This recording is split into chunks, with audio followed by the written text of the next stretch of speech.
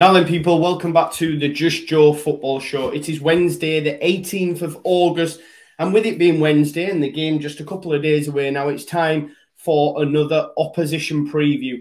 And this time we've got Mike from the Blue Boyz Network and Everton fan, a great YouTube channel. They are so close to 10,000 subscribers as well.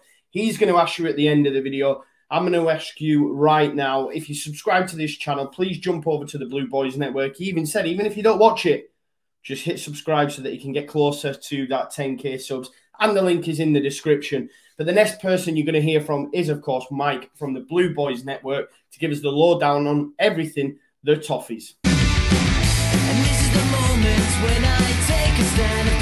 Good morning, everyone. And Joe, thanks for having me on the channel. Really do appreciate it. The channel's smashing it, absolutely flying. So thanks for having me on for the Leeds v Everton preview.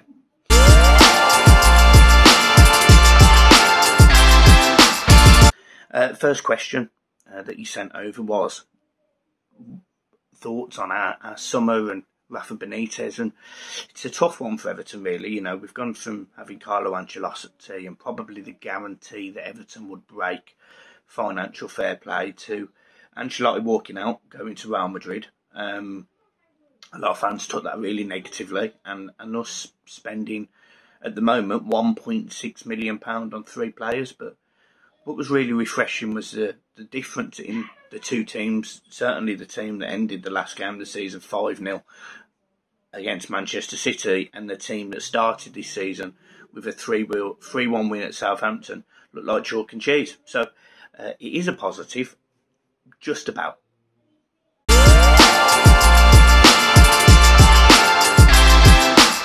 What are my hopes for this season? Again, it's a difficult one because I think I think my hopes for last season was for Everton to qualify for Europe and, and certainly push the top four, six. Mm-hmm. Um, and we didn't do that. Um, I think a lot of teams have progressed. I think Leeds have progressed significantly. And bearing in mind they finished ninth last season, um, I think they'll have a good season. Um, Arsenal are spending, or at least trying to recruit. They didn't look great the other night, however. Aston Villa have recruited as well. So, look, if Everton can finish, I would say for this season, around the top eight, I think that's a good season for Everton. Knowing that next season we may be able to invest just a little bit more money and, and maybe bring in a couple more bigger name players, better players that can really push us on to the next level. Fingers crossed.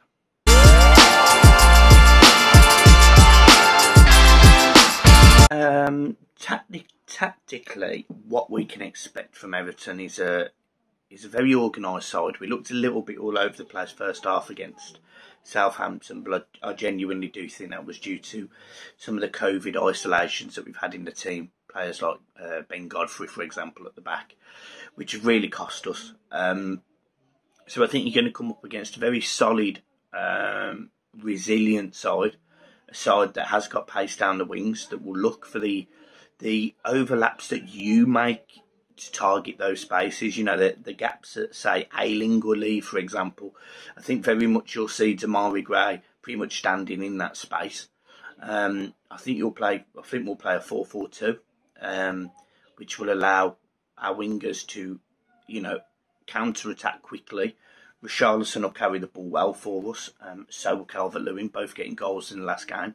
And I think you'll see Doucouré carrying the ball from defence to attack, being a ball carrier that we wanted to wanted him to be when we signed him. So yeah, I think I think Everton tactically will be a very solid side to break down. Not as fluid as Manchester United or yourselves, I don't think. A very different style of football, but we will be difficult to break down, I suspect.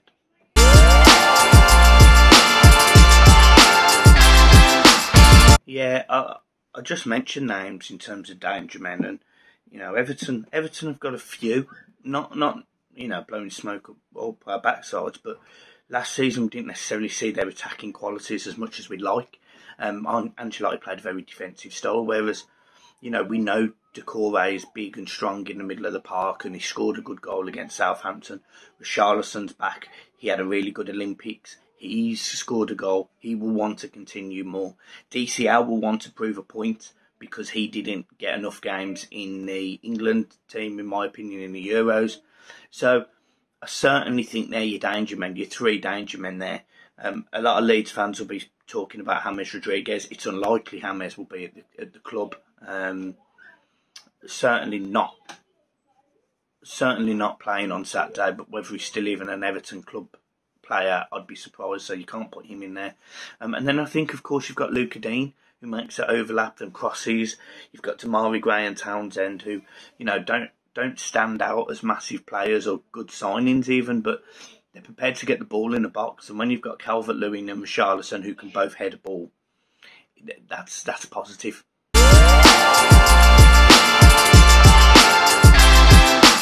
Think like last season, we played very defensive and, and, sort of hit you on the counter a couple of times, and we, we managed to win at Elland Road.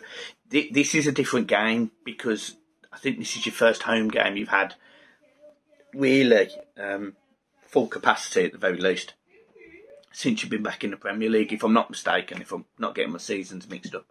Um, so this game is incredibly difficult for Everton because your fans, you know, will support your team through the thick and the thin. We've seen it in League One, Championship, Premier League. You know, you are a very positive, buoyant club, and, and huge respect to Leeds for that. Um, I think it's it's a tough game for that reason. Full fans. Um, I think Everton Everton will set up to win. We'll probably set up more defensive. We might even have to play a five in midfield to counter just uh, the raw, the pace and and the, the cleverness that your one touch passing creates. Because even against Manchester United, we saw one touch passing, we saw creative play. Um, it was just Manchester United really stepped up. So uh, it's going to be a difficult game, but I think Everton just have to be solid, hit you on the counter, use the gaps in behind your fullbacks when they push forward get the ball in the box and hope Calvert Lewin scores some headers.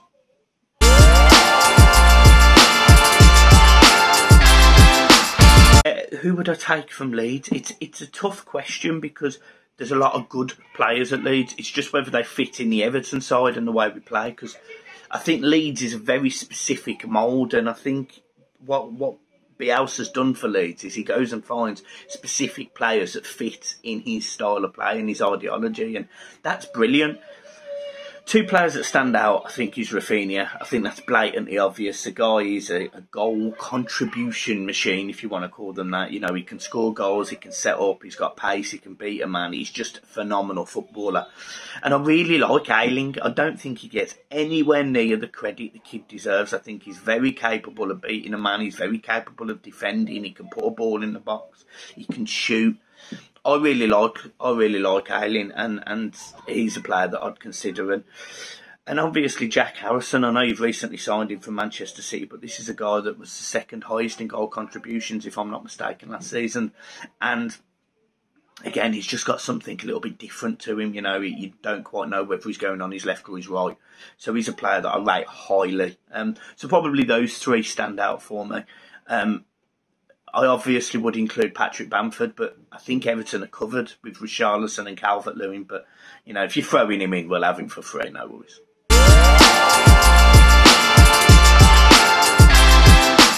Uh, score prediction, as I say, I think this is a difficult game. Um, I think I think both teams can win for different reasons. I think Leeds would certainly be favourites because they're at home as well, and they've got the crowd behind them. Um, I think one one, um, and I might even be up being optimistic there, but I think one one. A lot of Everton fans are confident they can go to Leeds and get a result and, and, and win the game. If you pass as quickly as you did against Manchester United, even even at times when you didn't necessarily look as organised as I've seen in the past, um, I still think you'll outpass Everton, and it's just when we have the ball, how effective are we going to be with it? Um, and that's going to be the big key question here. If we're effective with the ball, we can win. If we're not, we could get hammered. it's, it's that simple. So I'm, I'm going with a 1 1.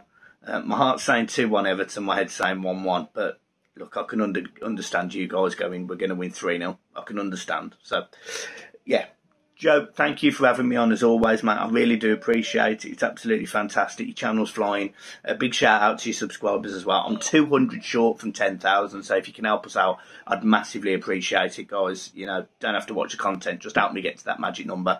Really appreciate it. And uh, yeah, good game on the weekend, guys. Peace. That was Mike from the Blue Boyz Network. Again, make sure you subscribe to their channel. The link is in the description. Top, top guy.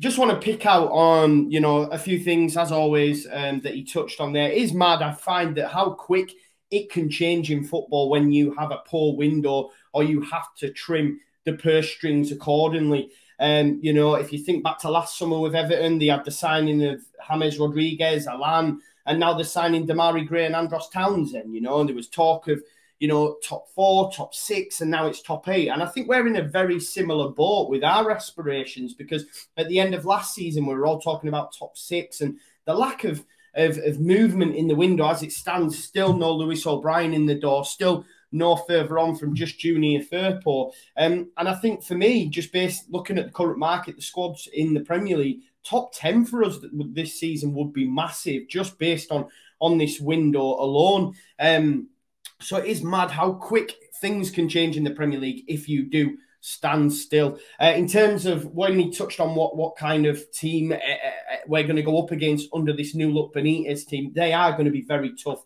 to break down. That's for sure. Um, we need to be wary of the wingers and deliveries into Dominic Calvert-Lewin. Um, you know, I think match of the day it was. We're just saying um, after their the result at the weekend, they got 17 crosses into the box, whereas last season they averaged uh, about 14, um, you know, over the course of the season uh, per game. And, and just in his first game, they got 17 crosses alone. So it's so clear that they're going to play to Dominic Calvert Lewin's strengths. And he touched on, you know, Richarlison being great in the air as well. So um, it's it's one area that, that's definitely going to be peppered. We're going to be peppered from up on high, and they've got some great deliverers into the box. How, you know, Lucas Digne, for example. Um, so we need to make sure we're on it for that. Um, you know, he, he, mentioned that he doesn't believe James Rodriguez will play, um, let alone be an Everton player, which is interesting. Wonder where he'll end up. Um, and, and and in terms of the the starmen, I've already just mentioned them, but it's going to be Dominic Calvert-Lewin, it's going to be Richarlison, and of course deliveries from the from the left fullback uh, Lucas Digne we need to be wary of. I think he, he made a great point in terms of home fans. Um, I believe Elland Road is going to be such a fortress for us this season. And um, it'll be interesting if Everton score first what that would do to the Elland Road crowd. Uh, I do think tomorrow's uh, Saturday's game, sorry, should I say, it'll be hard for them to keep, even if we were to go two behind early doors. I still think because it's been so long that we've tasted Premier League football as a full fan base, not just like the West Brom game, it's going to be some atmosphere. I think it could be on a par with that with that Derby semi final. It's a shame it's not under the lights, but it's going to be bouncing at Elland Road, and any team coming to Road is going to find it tough. Um, and just in terms of like when he picked out uh, who he felt was, you know, he would take, and I loved that. You know, I felt that every single person I asked this question will go Raphinha and KP. Wasn't that case for Mike? It was Ayling, and I loved that. And he also mentioned Pat. Uh, and it's great to see the rest of our squad now getting the respect they deserve across the the other fans within the division because you know how many times have we had to feel that we have to defend certain individuals but it's nice that they're now being able to see their worth as well and to think the money that we played for some of these players and they would take them in their side i mean what how much was luke Ayling 200k from bristol city it's a madness. It is a madness. Um, but that was Mike from the Blue Boyz Network. I hope you enjoyed the video. I enjoy doing these, and it gives you a real snapshot of what we're looking uh, to go up against, of course, whenever we do play uh, a team. So thank you very much to Mike from the Blue Boyz Network. Make sure you smash a subscribe on their channel. The link is in the description. Let's see if Leeds can get him to 10k we normally take more, so why not do that for him as well? But thank you as always for watching. I'll be back tomorrow with another episode of the Daily Leeds, and then um, we'll be looking ahead with a preview. I will have a guest on, and we will have a bit of a preview ahead of Everton, and then it'll be match day. And with me being at Elland Road on Saturday, I will be doing a match day experience vlog as well. So make sure you keep your eyes peeled for that. Subscribe to the channel, like the video get your comments in, and of course, hit that notification bell because we'll be doing Super Sunday again this week and really enjoyed doing that. Um, thank you as always for watching. I'll leave it there because I'm rambling now. Peace out. Leeds, Leeds, Leeds.